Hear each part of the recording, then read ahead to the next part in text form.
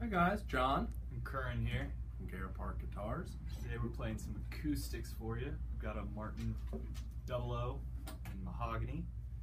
And this is a uh, uh, Silvertone Sovereign. Really cool guitar. This one has an added pickup. This one comes with the Fishman F1 Aura Plus. Uh, and we're just going to play a little music.